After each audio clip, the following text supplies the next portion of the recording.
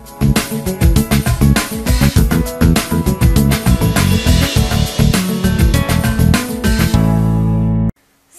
Senior నేత మాజీ MLA సున్నం రాజయ్య కరోనాతో మృతి చెందారు.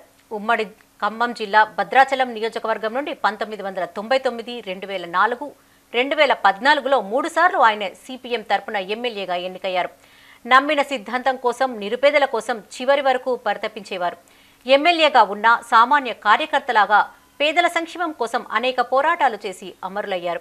సున్నం రాజయ్య మృతికి సీఎం కేసీఆర్ మంత్రులు తమ సంతాపాన్ని తెలిపారు. కమ్యూనిస్టు నేత భద్రాచలం మాజీ ఎమ్మెల్యే సున్నం రాజయ్య కరోనాతో మృతి చెందారు.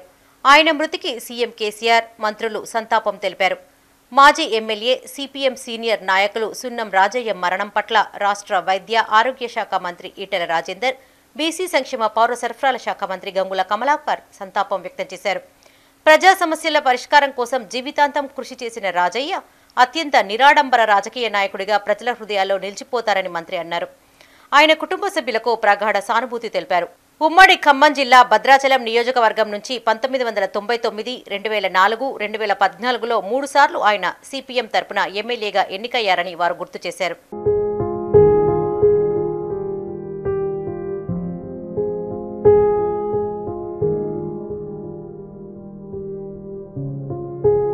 మాజీ ఎమ్మెల్యే సున్నం రాజయ్య మృతి పట్ల సిపిఎం కరీంనగర్ జిల్లా నేతలు సంతాపం తెలిపారు. కరీంనగర్ కోతిరాంపూర్ ముకుందలాల్ మిశ్రా భవన్లో ఆయన చిత్రపటానికి పూలమాల వేసి నివాళులర్పించారు.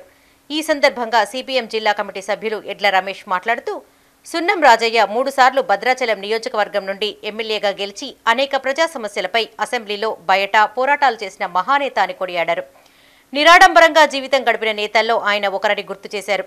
ఆయన లేకపోవడం ప్రజలకు పార్టీకి తీరని లోటని అన్నారు.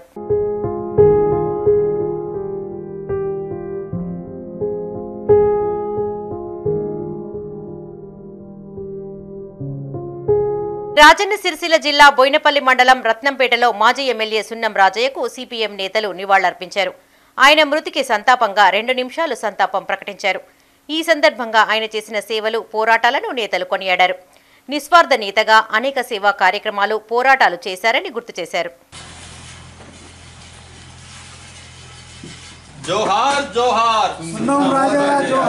సున్నం రాజయ్య గారు పరమ పదించిరానని చెప్పి మాకు ఉదయం ఐదు గంటలకు ఈ వార్త అందింది.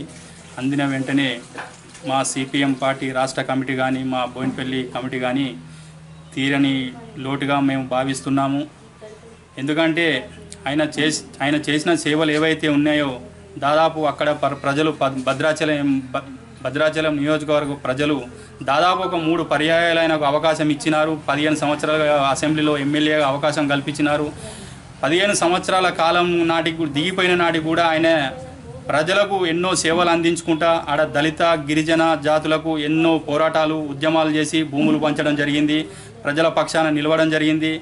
దిగిపోయిన నాటికి కూడా మాయని మచ్చగా అవినీతి లేని మచ్చ నాయకుడిగా పేరు పొంది పరమపదించుడుకు మా సిపిఎం పార్టీ పక్షాన చాలా బాధ బాధపడుతున్నాం మేము. మా కమ్యూనిస్టు పార్టీ లోపల ఆయన ఈ రోజు లేకపోవడం చాలా దురదృష్టకరం. ఎందుకంటే ఈ రోజులలో మామూలు ఒక సర్పంచి హోదా రాగానే ప్రజాధనాన్ని దోచుకునే నాయకులను చూస్తున్నాము లీడర్లను చూస్తున్నాం గల్లీ లీడర్లను చూస్తున్నాం కానీ ఒక మచ్చలేని నాయకుడు కామ్రేడ్